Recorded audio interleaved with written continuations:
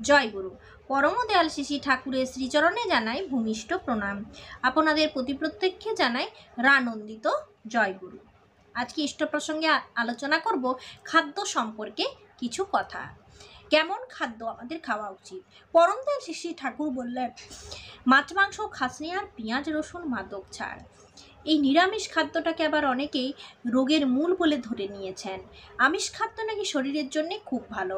যদিও এখন যে কোনো বড় বড় ডাক্তারের কাছে যাওয়া হচ্ছে এবং ডাক্তারের কাছে গেলেই ডাক্তারেরা একটা কথাই বলছেন যে আমিষ খাওয়া থেকে নিরামিষ খাওয়া অনেক বেটার তার জন্য আজকের, আজকালকার দিনে বিজ্ঞানীরা গবেষণা করেও দেখছেন যে সত্যি সত্যি নিরামিষ খাবারটা কিন্তু শরীরের জন্য সব থেকে ভালো যদি সেটা তৃপ্তি করে খাওয়া যায়।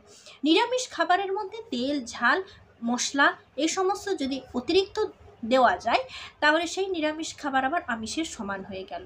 বিভিন্ন রকম ঝাল, মশলা, নুন, টক, এগুলো বেশি খেলে আমাদের শরীর কিন্তু ভালো থাকে না।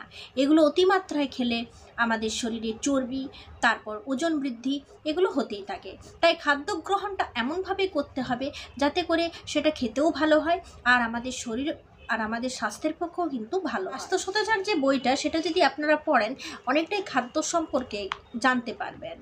তো, স্বাস্থ্য ও সদাচার সূত্র রসার্থ সহ কিছু কথা এখানে আলোচিত হয়েছে। আমিষ খাদ্যবিধানকে উত্তেজিত করে সংঘাত অনুক্রমণায় বিষাক্ত নিঃস্রাবের উপসৃষ্টি করে। শুধু যে আয়ুরই অপলাপ আনে তা নয় কো, জনন ক্ষমতারও অপলাপ করে থাকে। যদিও আপাত দৃষ্টিতে দেখা যায়, ওই উত্তেজনা মানুষকে কাম বিধুর করে তুল, তুলে থাকে। তাও করে থাকে, কিন্তু জননযন্ত্রে অস্বাভাবিক উত্তেজনা সৃষ্টি করে তার সুস্থতায় বিপর্যয় এনে। তাই আমিষ আহার হতে যথাসম্ভব দূরে থেকো, যা তোমার জীবনের পক্ষে বিষ উদ্গিরণী ও আয়ু অপলাপী। এর, এটা হচ্ছে মানে এটা তো স্বাস্থ্য সদাচার গ্রন্থে দেওয়া আছে, এর এরপর অর্থটা শুনুন, রসার্থ। এটাই বলা হয়েছে যে প্রকৃতিগত বিচারে বর্তমান মানবদেহ একটি শাকাহারী বিধান। আমিষ খাদ্য, অর্থাৎ যে কোনো প্রকার প্রাণীর দেহাংশ বা দেহ, কোষ তথা পেঁয়াজ, রসুন ইত্যাদি কতকগুলি বিশেষ উদ্ভিজ্জ পদার্থ খাদ্যবস্তু হিসেবে মানুষের শরীর বিধানের সঙ্গে অত্যন্ত অসঙ্গতিপূর্ণ। মাংস আহার করলে শরীরে নানা প্রকার ক্ষতিকারক বিষাক্ত জৈব তৈরি হয়। পেঁয়াজ ও রসুনের দ্রব্যগুণ মানুষের শরীরে উচ্চমাত্রার বাজিকরণের মতো ক্রিয়া সৃষ্টি করে। খুব ছোট বয়স থেকে নিত্য খাদ্যরূপে এদের গ্রহণ করতে থাকলে ধীর বিষক্রিয়ার মতো এগুলি মানুষের যৌন সম্বেগকে অস্বাভাবিক বানিয়ে তোলে। এমনকি ক্ষেত্র বিশেষে স্বাভাবিক প্রজনন ক্ষমতাকেও তা বিপর্যস্ত করে তুলতে পারে। তাই শরীরকে তার আপন গঠন প্রকৃতি ও প্রয়োজন অনুসারে খাদ্য সরবরাহ করাই কর্তব্য। বিপরীতধর্মী খাদ্যাভ্যাস শরীরকে বিপাকের মধ্যে চালিত করে এবং ক্রমিক পরিণামে তা আয়ুর হ্রাস ঘটায়। সব খাদ্যই বিশেষত জান্তব, এটা হচ্ছে এর রসার্থ। এরপর আরও একটা পাঠ করছি, শুনুন। সব খাদ্যই বিশেষত জান্ত যা, যাকে হত্যা করে খেতে হয় সংখ্যাধুর দুঃখ, বোধ বিকারও বধ ত্রাস কুঞ্চিত ভি। এমনতরভাবেই তার কৌশিক দানাগুলিকে বিকৃত ও বিষাক্ত করে তোলে।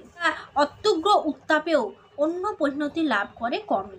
ফলে ওই খাদ্য দেহে সংশোধিত হয়ে অল্প বা অকারণ ত্রাসের উদ্দীপনায় ক্রম তাৎপর্যে এমনতর মৃত্যু অভিনিবেশের সৃষ্টি করে যে, যার ফলে কৌশিক বিধান ও বিকৃতি লাভ করে ক্রমশই এবং তা জন্মগত আয়ুকেও ক্ষীণ করে তোলে। রোগ, শোক, দুঃখ দারিদ্র বিপর্যয় সৃষ্টি করে সংখ্যা দুঃখিত বিপর্যয় এনে। এর ফলে মানুষ হঠাৎ বা ধীরে ধীরে এমনইতর অবসাদগ্রস্ত হয়ে পড়ে যে জীবন বীর্য তার বোধি সন্দীপিনী নিয়ে আত্মঘাতী অভিঘাতে গা এলিয়ে দিয়ে চলে। সত্তা বিরোধী অন্তরায়ের বিরুদ্ধে সে মল্ল কৌশল নিয়ে দাঁড়াতে পারে কমই আর আমার মনে হয় সেই জন্য যজ্ঞেও পশুবধ বিধি বিগর্হিত। ঠাকুর এরকম করে বললেন।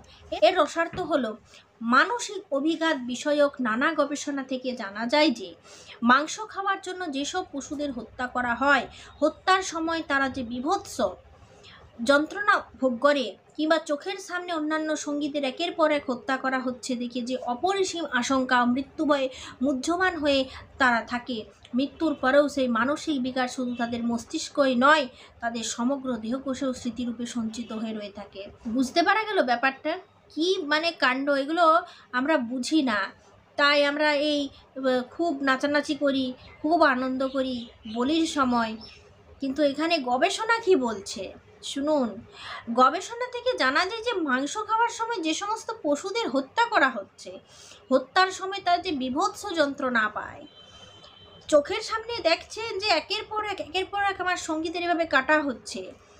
মৃত্যুর পরেও সেই মানসিক বিকাশ শুধু তাদের মস্তিষ্কই নয়, তাদের সমগ্র দেহকোষও স্মৃতিরূপে সঞ্চিত হয়ে থাকে। প্রত্যেকটা খণ্ডে মাংস তো কাটা হয়, তার প্রত্যেকটা খণ্ডে স্মৃতিরূপে থাকে।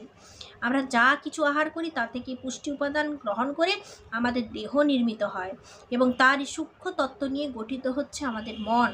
সুতরাং নিহত পশুর মাংসকোষে সঞ্চিত সেই স্মৃতি রান্নার প্রবল তাপেও অপরিবর্তিত থেকে গেলেও তা খাওয়ার ফলে সেই ত্রাস ও যন্ত্রণার বিকৃত স্মৃতিগুলি ভোজনকারীর মধ্যেও সংক্রামিত হয়ে পড়ে, যা অযথা মন মস্তিষ্কের ভারসাম্যে বিঘ্ন ঘটায়। এই রকম খাদ্যাভাসে ধীরে ধীরে মানুষের মন তার অজান্তেই দুর্বল হয়ে পড়তে থাকে। পশুদের হত্যা করবার পর সেই মাংসটা তো রান্না করে তেল, ঝাল মশলা, তেল, ঝাল মশলা দিয়ে তাকে বিভিন্নভাবে রান্না করে আমরা খাই। তৃপ্তি পাই আমাদের জীব আমরা ভীষণ তৃপ্তি পাই। আমাদের আত্মার শান্তি হয়।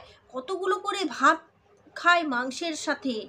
সত্যি আর খাবার পর বলি, আজ মাংস হয়েছিল বলে দু থালা ভাত খেয়েছি, পেট পুড়ে ভাত খেয়েছি। তো তো বলেই থাকি, তাই না? কিন্তু এটা কি বলছে শুনুন, বলছেন যে ত্রাস ও যন্ত্রণার বিকৃত স্মৃতিগুলি ভোজনকারীর মধ্যে সংক্রামিত হয়ে পড়ে। অযথা মন মস্তিষ্কের ভারসাম্যে বিঘ্ন ঘটায়। এই রকম খাদ্যাভাসে ধীরে ধীরে মানুষের মন তার অজান্তেই দুর্বল হয়ে পড়তে থাকে। মানুষের মন তার অজান্তেই দুর্বল হয়ে পড়তে থাকে। কালে কালে নানাবিধ রোগ, শোক, দুঃখ দারিদ্র বিপর্যয়ের সৃষ্টি করে এবং সামগ্রিক জীবনকে ক্ষয়িষ্ণু করে তোলে। ঠাকুরের কথাটা তো বাদ দিয়ে দিচ্ছি। যারা দীক্ষা নেননি, যারা ঠাকুর বিরোধী, যারা ইষ্ট বিরোধী, তারা ঠাকুরের কথাকে তুড়ি মেরে উড়িয়ে দেন। নিরামিষের নাম শুনলে ভয়ে তাদের গা কাঁপে। বিরক্ত হয় তারা। তারা মনে করে যে মাংস খেলে ওই ঠাকুরকে ধরলে মাংস খেতে নেই। কিন্তু ঠাকুরকে ধরলে মাংস খেতে নয় ব্যাপারটা একদমই ভুল। ব্যাপারটা যে গবেষণা কি বলছে? আজকের দিনে গবেষণা কি বলছে? শাস্ত্রে নানা স্থানে যজ্ঞে পশুবধ করাকে নিন্দা করা হয়েছে। মহাভারতের শান্তি পর্বে যেমন আছে, ঋষি বলছেন, বীজ মন্ত্র যজ্ঞ করা উচিত। এই প্রকৃত বেদের বিধান। বীজই অজ, সুতরাং অজ অর্থে ছাগলদের বলি দেওয়া তোমাদের উচিত নয়। আবার চণ্ডী বা বা মার্কণ্ডেয় পুরাণের অন্তর্গত দেবী মাহাত্ম্য গ্রন্থের বৈকৃতিক রহস্যে আছে। বিপ্র বা দ্বিচারীদের কখনোই মদ্য মাংস নিয়ে দেবীর পূজা করা বিহিত হয় নাই।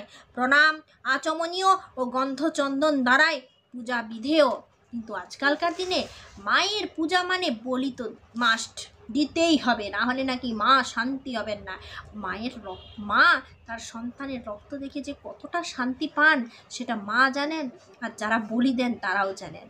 সত্যিই তাই, পশু হত্যা জিনিসটা পশুর হত্যা জিনিসটা ভীষণভাবে খারাপ। আজকালকার আধুনিক যুগে পশু হত্যা করতে দেখে আর মানে মানে এত মন খারাপ লাগে বলার কথা নয়। বুঝতে পারলেন কি হয় মাংস খাবার পরে। পশু হত্যা হওয়ার পরে পশুর মনে কি, পশুর মনে কি হতে পারে? মানুষের সেই পশুটা যখন মানুষ খাচ্ছে তার কি হতে পারে? একদম যুক্তি সহকারে ভেতরের কথা দেওয়া আছে। আপনারা যদি বুঝতে চান, তাহলে বুঝতে পারেন।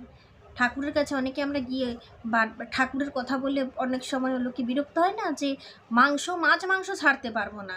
দীক্ষা নেব বাবু, মাছ, মাংস ছাড়তে পারব না। এ কথা অনেকেই বলে, দীক্ষা নিয়ে মাছ খেতে পাবো না? অমন ঠাকুর না ধরাই ভালো। আর সত্যি তাই। এমন কথাগুলো শুনলে নিজেরও অতৃপ্তি আসে।